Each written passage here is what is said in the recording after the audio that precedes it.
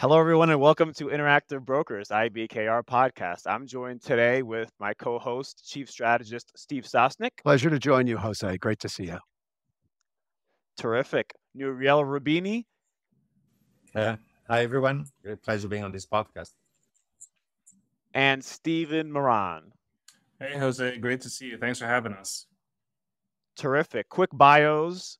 Nouriel Roubini is a senior economic advisor to Hudson Bay Capital. Dr. Roubini is also professor emeritus, Stern School of Business, New York University, and CEO of Roubini Macro Associates LLC.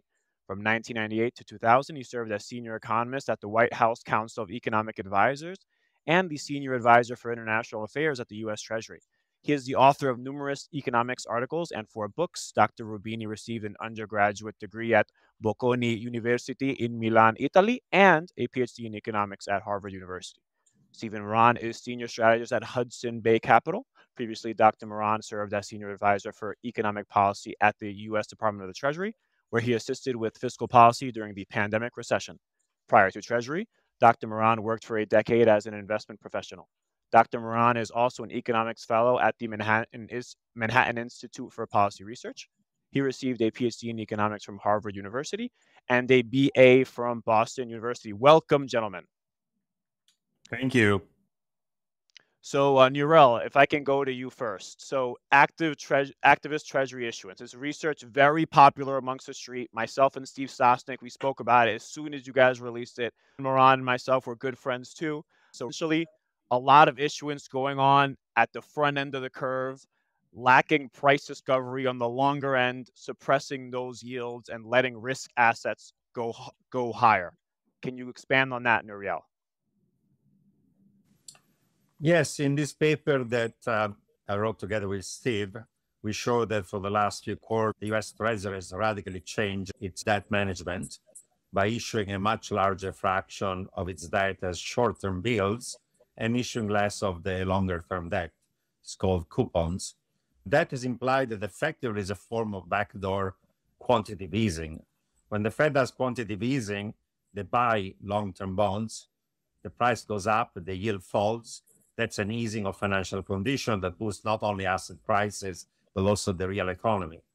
Instead, in this case, what the Treasury is doing, instead of affecting the demand uh, for treasuries, is affecting the supply.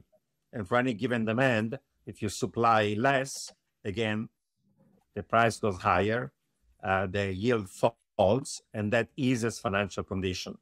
Now, it's problematic because the Fed has been trying to cool down the economy. Growth was above uh, potential, inflation above target, and it pushed the Fed funds rate uh, to the current level of 5.5.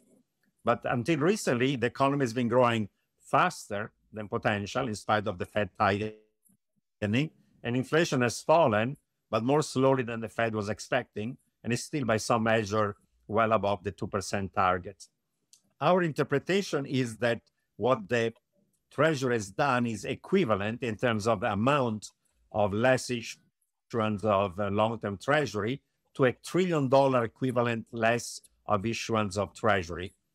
If you look at the literature on quantitative easing, when you do that, it's as if the Fed had cut uh, the Fed funds rate, the policy rate by 100 basis points, or equivalently, that the 10 year treasury yield is lower by 25 basis points compared to what it would have been without this uh, ATI.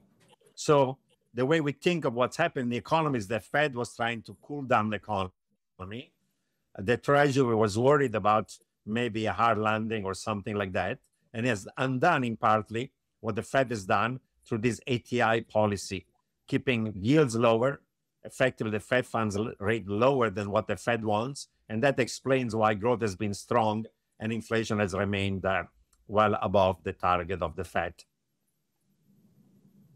So the implication then would be that we would be looking at a yield curve that is no longer inverted. Do you feel that's muddied the signals in such a way that it's the usual recession signal that's given by an inverted yield curve has been neutered by this activity?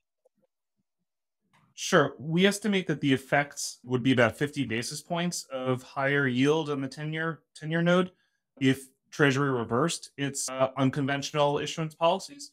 A 50 basis point increase would make up about half the distance to uninverting the yield curve, but it wouldn't totally uninvert the yield curve. So you're talking about 50 basis points in the 10 year yield. That's material, right? Risk assets will notice, markets will notice, yields will notice, the economy will notice. But you're not talking about the type of move that's going to sort of single handedly create giant economic shockwaves. So, one thing I wanted to, what do you think are the medium to long term costs going on this kind of policy? I mean, I know in your paper you write about this is sort of the politicization of business cycles. You want to expand on that? There's a couple of costs, right? One is that we've been issuing at the most expensive part of the yield curve, right? By issuing a lot of short term overnight debt in, as, as uh, Sosnick said a moment ago, in, in, an, in a heavily inverted yield curve, we've been issuing at the most expensive place to fund ourselves, right? So interest costs have been higher than if we had issued further at the yield curve.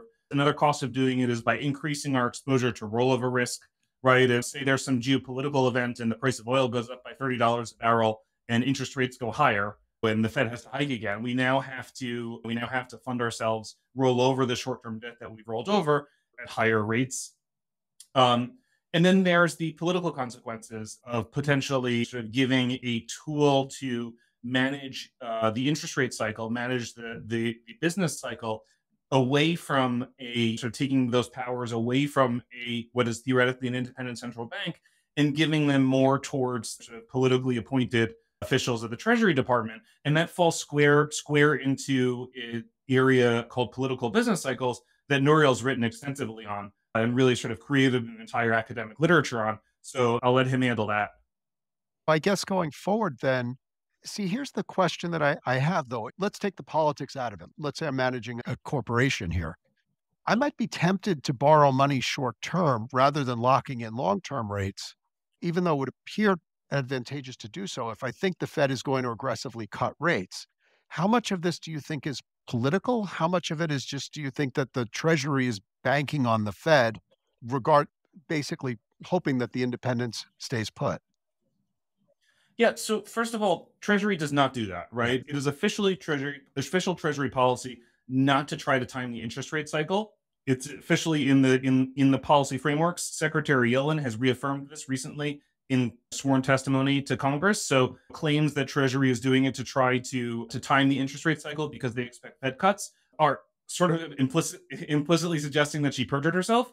Treasury says this is not happening. We don't think this is happening either, principally because you have to get the call right, right? It turns you into someone who's betting against the market. So remember, the way that fixed income works is that the 10 year yield, right, reflects the average expected overnight rate over the course of 10 years. Right? Another way of saying that is that you have to beat the forwards in order to make money in fixed income. You have to beat what's priced into the yield curve already. And if the forwards come true, if the yield curve as it is now is realized, you will not make or lose any money doing 10 years now or just continually ro- rolling overnight, right? If the forwards are realized, you will not make or lose any money. You have to beat the forwards, right? So you are implicitly making a bet that the market is wrong, that you are right, that you know better than the market. And Treasury is humble enough to know that's not always a winning that's not always a winning strategy, and that they can get it wrong, and that getting it wrong could be enormously costly not only to the taxpayer but to the financial system as well because of unnecessary volatility in the system. Now, in a market which is already pricing 200 basis points of cuts from the Fed in a 9 12 month period, right? You have to get more than that 200 basis points of cuts in order to make money on this on the strategy you just described, right? So the Fed has to cut by let's say 250 or 300 basis points in the next 9 months, not just 200. That's a quite a tall order and is suggestive and if treasury were following the strategy, which they say that they're not and we believe that they're not, they'd have to they'd have to really be expecting a recession around the corner, in which case there's a whole other set of policies they should be doing that extend far beyond the issuance strategy why do it? Then why are they doing this? Well, usually the issuance of shorter term bills is large when there is either a recession or there is a liquidity crisis or there is a financial crisis or like in COVID when we had the, a shock to the markets and you had to issue a lot of debt to finance a temporary very large uh, budget deficit. So that will be justified. But if you look at the last year or so, The economy is growing uh, above potential. There is no financial crisis. There were some ripple effects coming from Silicon Valley Bank, but then they disappeared. Growth is strong. Inflation is still above the target.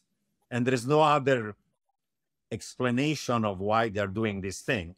The claim is not driven by politics, but the reality is there is no other clear explanation. And I think what happened was that last summer, suddenly the bond vigilantes woke up, even for the United States, first time in a long time, when they realized the deficits were huge in the US, Europe, and advanced economies. And suddenly bond yields went much higher. The 10 year treasury reached uh, almost uh, 5%.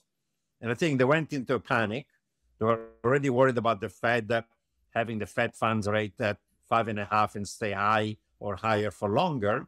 And they decided to try to ease financial condition by using debt management, that, as we point out in the paper, is an indirect form of QE. And by the way, Treasury does not deny that what they're doing has an impact on bond yields and on financial condition. They claim that was not done for political reasons, but there is no other explanation of why they're done it. Really, if it walks like a duck and it quacks like a duck, it must be a duck. And I think that they tried to ease financial condition because they were worried about a softish landing, a short and shallow recession, or a harder landing. And since the Fed was committed to keep the Fed funds rate high or higher for longer, it became a backdoor form of essentially easing financial condition and boosting the economy. At the time when, however, growth was strong, inflation was too high, and that was not necessary. And so if you compare this to what happened during the COVID experience, right? During COVID, in the first quarter, in the first few months of the recession, Treasury issued two and a half trillion dollars of bills, right? Which is totally orthodox debt management policy. You have a real crisis, you issue a lot of bills to fund the government, you don't issue a ton of coupons into the crisis. Okay. It CARES Act is implemented, which I participated a little bit in, and you, the economy starts recovering, things are okay in July of 2020, so a mere four months later, Treasury allows bills to start redeeming and starts terming those out into longer term debt. So net bills issuance goes negative in July of 2020, and it stays negative until October of 2021. So five quarters, well over a year, Treasury allows the excess bills to redeem themselves and turn those out into longer term debt. That's orthodox debt management policy. You borrow in a you borrow bills in a crisis, and then you term them out when things are calmer okay, last year we had a spike in financing needs as the debt limit was suspended and Treasury had to rebuild its savings accounts, it borrows in bills. But then over a year later, we're still borrowing excessively in bills, right? We didn't wait three months and then start terming them out. We're still borrowing excessively in bills. And unlike COVID, there is no financial crisis. There is no economic growth crisis. There is no there is no market fragility crisis. Everything is pretty great, and we're still engaging in emergency measures as if we're in a genuine emergency, and we're not. Steve Miran, one word you mentioned earlier was volatility. Steve yeah. Sosnick here is a big volatility guy. We work for Interactive Brokers, a huge pioneer in options trading and volatility and all that kind of all that great stuff. Now, Nouriel, we've sort of become allergic to recessions, allergic to economic shocks, allergic to volatility. Seems that we want to quell things more than ever. Every recession, every crisis, there's more added to the balance sheet, more extreme measures, bringing rates to zero, ballooning the, the balance sheet to 9 trillion. Now we're doing the treasury bills as a much greater share of issuance. What's going to happen when we actually have a recession? Right? What are our tools then? That's a very valid point. In some sense, we've used most of the bullets, both on the monetary side and on the fiscal side. The deficit is huge public debt as a share of GDP is high and rising. The balance sheet of the Fed, by the way, in spite of the current uh, quantity tightening, is uh, significantly trillions of dollars above what it was before COVID. And therefore, as you suggest, if there was another recession, can we increase further the balance sheet by trillions of dollars? Can we start running much larger fiscal deficits? I think that the risk is one, that the bond vigilantes are going to wake up, They're going to say, this is not sustainable on the fiscal side. And if instead you're trying to keep a lid on rates by doing then, again, amounts of QE, you could have a, some unhinging of uh, inflation expectations. So either the debt becomes uh, less sustainable, bond yields are much higher, or if that doesn't happen by monetizing it, you're going to affect inflation and inflation expectation. So definitely, uh, while this policy might have been needed during the global financial crisis, uh, QE was continued until we started to reverse and normalize rates for almost a decade until about 2017. And then during COVID, we doubled down on the same thing. So we are effectively running out of bullets. That's absolutely an important and valid point. So, what about stocks? Last year, we had a great year despite the monetary policy tightening that went on. This year, we had some hiccups recently, but we're still having a relatively good year. Let me look real quick to give an accurate figure. Up 13% year to date on the S&P 500. Still in August. Survived the carry trade. Steve Sosnick survived the VIX going to 65, somewhere around there. Right, where do stocks go from here? Some folks feel like we're front loaded. We're going to be sort of flat for, for a while. Other folks feel like we can keep running, and other folks think we can have a really sharp correction. Well, it's important to note that our paper doesn't make predictions about the stock market. What it does do is help us understand why the stock market has not collapsed in the face of an, a, an extremely aggressive Fed tightening cycle. And if you go back five years ago to before the pandemic, and you told people that, hey, the Fed was going to hike 500 plus basis points and do a QT, most people would probably say, hey, probably means there's going to be a huge financial crisis. And that hasn't happened, I think, to a lot of people's surprise. And when and we think that these innovative issuance strategies designed to loosen financial conditions from the Treasury Department help explain part of the reason why, right? Like this is null this is nullified, this has stood in the way of a portion of, not all of, but of a portion of the Fed's tightening cycle to make it so that financial conditions are not as tight as they otherwise would be. So we think that, that this helps explain why stocks have been so strong over the last year or so. It doesn't really make a strong prediction for where stocks are going to be going in the near future. Yeah, I would add, however, that if the next administration, it doesn't matter whether it's Trump or Harris going to win the election, if they were to term out this policy, then the additional issuance of long-term bonds and less of bills that will be needed to go back to the previous ratios, in our estimate would imply that the 10-year treasury yield would go up by about basis points for at least or two or three years at the time where maybe the Fed is now starting to cut rates because uh, financial conditions have been tight for long enough that they are willing to do so. And that could have a potential impact on uh, equity prices, could have also an impact on the economy. In extreme case, if the Fed is easing while the undoing of this ATI implies 50 basis points higher long rates, the economy could uh, stall or tip into a recession, whether short and shallow or more severe to be discussed. But there'll be a cost about undoing this policy, or if whichever administration is in power and decide they do not want to pay this cost, then this policy that was temporary, maybe before an election year, could become permanent. And if it were to become permanent, then the risk is again that you unhinge inflation expectation, you have eventually higher long rates was expected than actual inflation is higher. So in some sense, given what has been done now, the costs are going to be significant whether you continue the policy or whether you're going to phase it out. So them if you do, and them if you don't.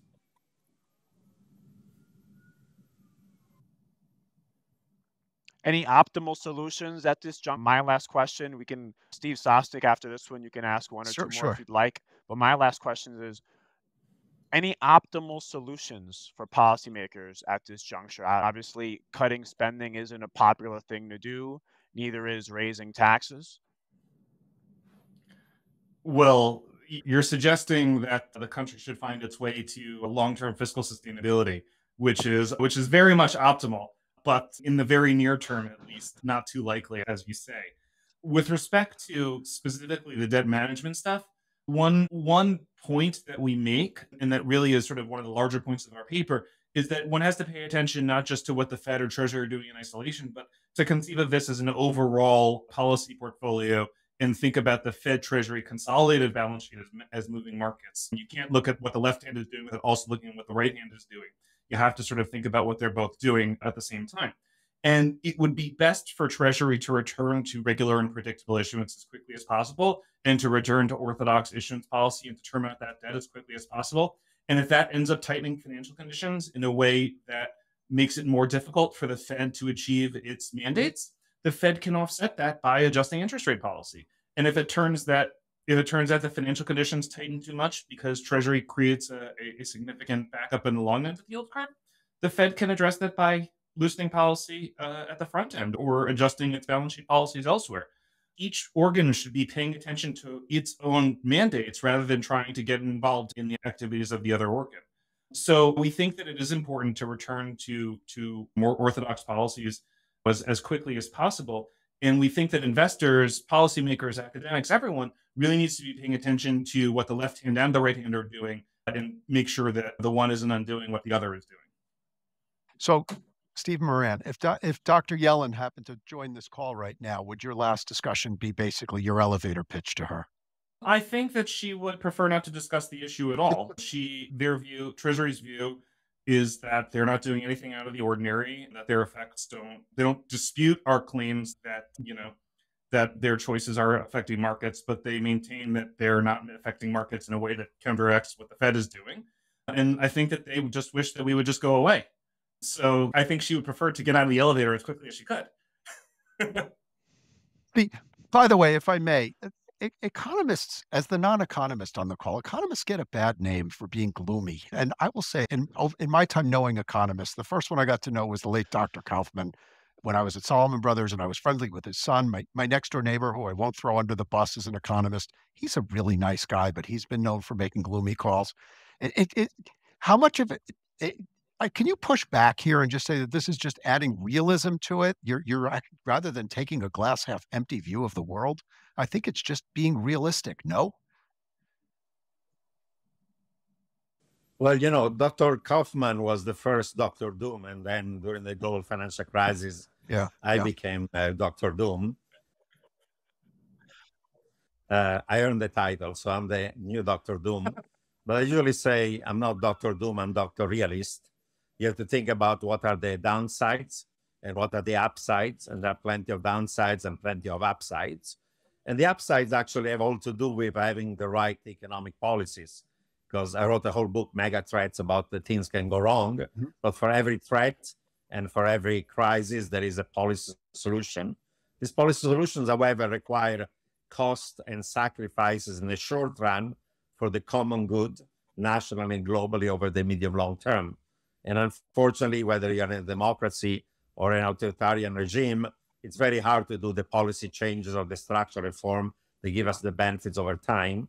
And I wrote a whole book about uh, political cycles in the macroeconomy and how, regardless whether you set the right or the left, you try to boost the economy before the election, how both sides can try to manipulate or attempt to manipulate the independence of central banks, on how there are partisan divisions Democrats like to spend, but they're unwilling or unable to raise taxes enough.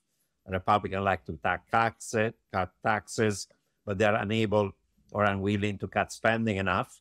And therefore, we have these structural biases towards fiscal deficits, and then we have electoral business cycle as well. Unfortunately, those biases imply that uh, politicians look only about being popular or being reelected. They don't think about the medium long term. And unfortunately, we're on an unsustainable fiscal path. And our policy on the monetary side have been essentially monetizing fiscal deficits in a way that eventually could become inflationary over the medium long term. So that's the realistic, it's not the doomish, but the realistic assessment of where we are, unfortunately.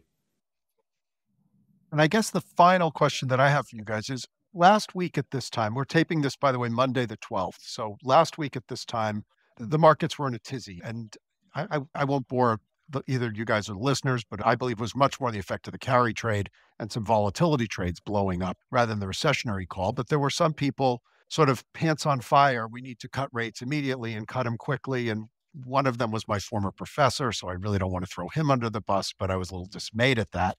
What do you think the right policy prescription is for the Fed? I, I, it seems to me that the rate cut picture is, especially after your paper, is much more murky than it seems. Do you? What is your just general gut feel? Do we? How aggressively does the Fed need to cut rates, if at all? So I don't know. I mean, it's even possible that Nouriel and I disagree on this question. From my perspective, and I'm happy to let him give his also, but from my perspective, there is an argument for some adjustment cuts given the move in the unemployment rate as well as inflation has come down a little bit. I don't think the size of the adjustment cuts that we need is enormous. And I think that the adjustment cuts have already, in large part, been provided by the Treasury Department through ATI, right? There was an argument for adjustment cuts earlier this year, right? It just so happens those adjustment cuts were delivered in the form of reduced term premium and reduced 10 year yields rather than reductions in the overnight rate. So my perspective is that was that inflation still ran quite high in the first half, 3.3% core PCE inflation in the first half of the year. GDP growth is was 2.8% in the second quarter. The Atlanta Fed nowcast is around 2.9% for the third quarter. And it's still early in the quarter, but that's still quite high right? And so i'm far from i'm far from convinced that that the inflationary demon is truly slain and durably slain. And so while i do think there is some scope for some adjustment cuts some insurance driven reductions to the fed's policy rate i think we need to incorporate the stimulus that's been provided through treasury's activist treasury issuance. But perhaps nouriel has different views on, on inflation and employment than i do please share I'll only point out that as Steve Sosnick pointed out, the unraveling of the carry trade in yen were driven by the fact that the BOJ decided, not fully unexpected, to raise a little bit another 15 basis points its policy rate and cut its QE by half over the next couple of years. They're still doing, by the way, QE, just at the later, there's a tapering of their QE.